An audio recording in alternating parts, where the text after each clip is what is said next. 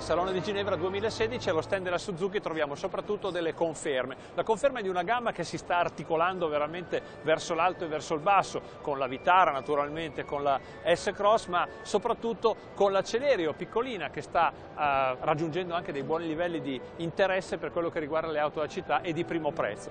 Ma c'è un'automobile che a me interessa in modo particolare, non è una novità assoluta, l'abbiamo già vista circa eh, 4-5 mesi fa al Salone di Francoforte, la Baleno. Ora, vi ricordate la Suzuki Baleno del passato? Era un'automobile presa persino un po' in giro per la sua forma. Beh, oggi è diventata qualcosa di molto più concreto e compatto, un'auto da città di segmento B con dei valori di concretezza importanti perché è costruita bene, è costruita eh, con buon senso, non con dei materiali di lusso, non con delle finiture eh, eccezionali per le quali si griderà al miracolo, ma guardando soprattutto ciò che ha bisogno la gente e ciò che serve veramente su un'automobile. Io ho veramente tanta voglia di guidarla, spero che arrivi presto in pista Vairano.